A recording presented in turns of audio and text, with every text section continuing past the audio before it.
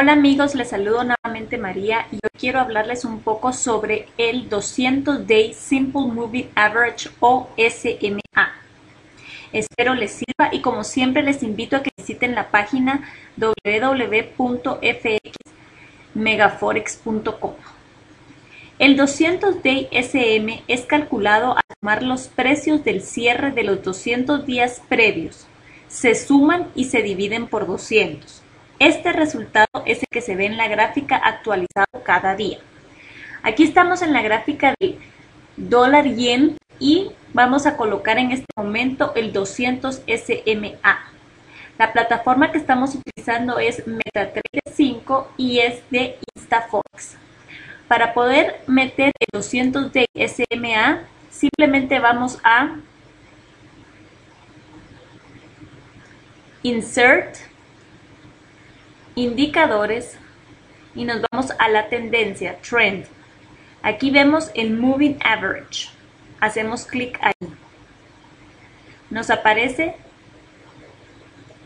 este cuadrito. Aquí ponemos los parámetros. Ponemos 200. Colocamos que es el, el simple, no el exponencial y el color que queremos la línea, el estilo de la línea y el grosor de la misma. Le damos a aceptar. Como vemos, aquí está la línea roja del 200 SMA. La gráfica la tenemos aquí en 5 minutos. Pongámosla en un día. Muy bien. Se pueden ver que todas las barras están debajo del 200 SMA. ¿Esto qué significa? Primero les voy a explicar para qué utilizan los operadores el SMA de 200.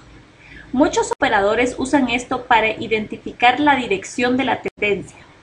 Si el mercado se está moviendo hacia abajo y está debajo del 200 SMA o Simple Moving Average, entonces la tendencia es hacia abajo.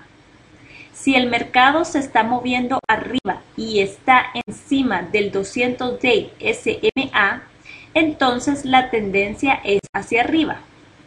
Esto es importante para operadores que desean incrementar sus posibilidades de éxito al operar con la tendencia.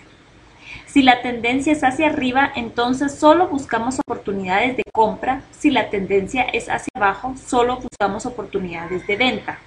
Como se pueden dar cuenta en la gráfica de USD eh, Yen, tenemos la tendencia hacia abajo porque las candelas se encuentran por debajo de la línea del 200 SMA en la gráfica diaria.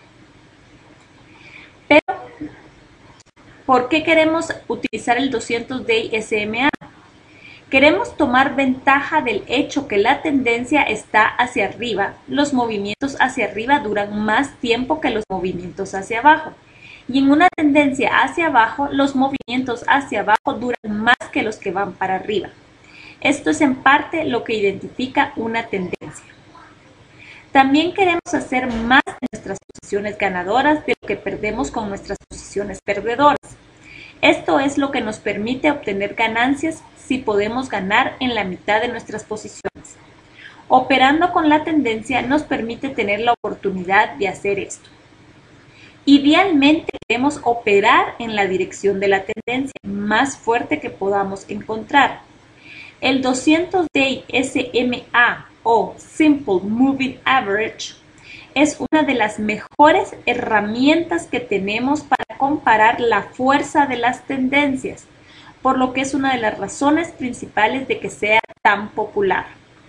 Espero que este pequeño video sencillo les sirva para identificar la importancia de utilizar el indicador 200 Day SMA y sobre todo hacerles entender para qué sirve el saber hacia dónde va una tendencia.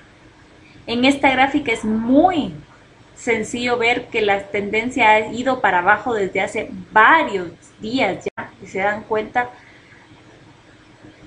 desde aquí está abajo de la línea roja Y como se pueden dar cuenta, llegó a su punto más bajo en este momento y empezó a subir un poco. Esto nos da la posibilidad de visualizar oportunidades de venta mucho más fáciles porque vemos que nuestra tendencia va hacia abajo, por lo que los movimientos hacia abajo van a durar más tiempo.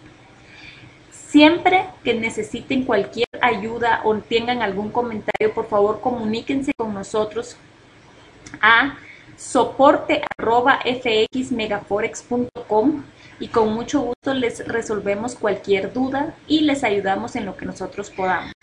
Hasta la próxima y hasta luego.